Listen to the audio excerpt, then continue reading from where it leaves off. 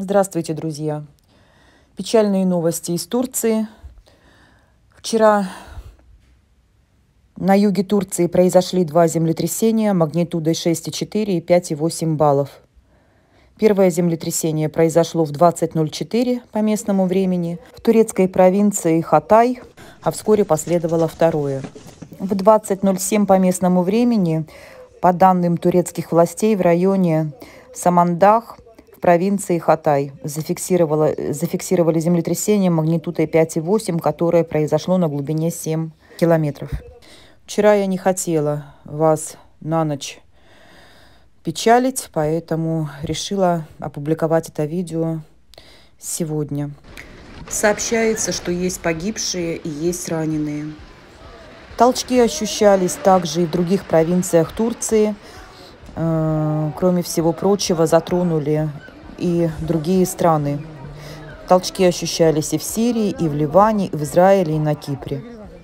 По словам главы МВД Турции Сулеймана Сойлу, ведутся поисково-спасательные работы среди обломков. Турция еще не отошла от предыдущих землетрясений. И тут такое горе происходит вновь.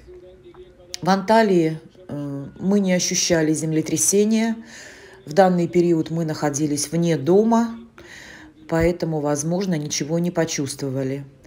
Но глядя на э, видео, которые публикуют в YouTube, можно сделать вывод, что люди и в Алании, и в Мерсине, и в других городах перепугались, выскочили на улицу и утверждают, что землетрясение по мощности было сильнее, чем предыдущее. Вчера вечером мы вместе с нашим другом, который проживает в Хатае, находились э, в одном из торговых центров. И вдруг позвонили ему его родители, которые сейчас проживают в палатке в городе Хатай. Дом их разрушен и рассказали о том, что случилось вновь новое землетрясение.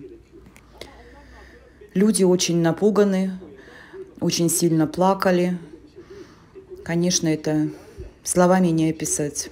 Ночь прошла беспокойно, конечно же, я не смогла уснуть, все время наблюдая за всем происходящим. По телевидению сейчас показывают и рассказывают, что произошло.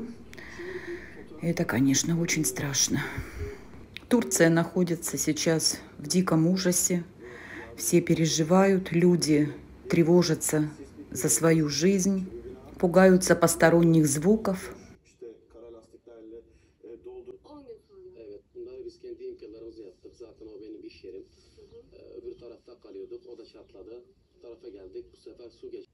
Nasıl yaşıyorsunuz? Kaç kişi örneğin bu çadırda? Yani burada bir 10 kişi kalıyor.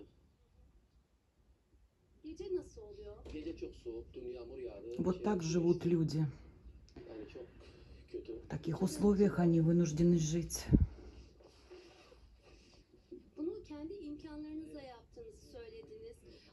korkunun üstünden nasıl buldunuz, nasıl yaptınız Kim getirdi bilemiyorum. Ee, çok yani bir şey hatırlamıyorum artık. Вот видите как? Şu anda. Burada kaç kişi kalıyor? Burada da bir 7-8 kişi kalıyor. Не дай бог такое пережить. До свидания, берегите себя.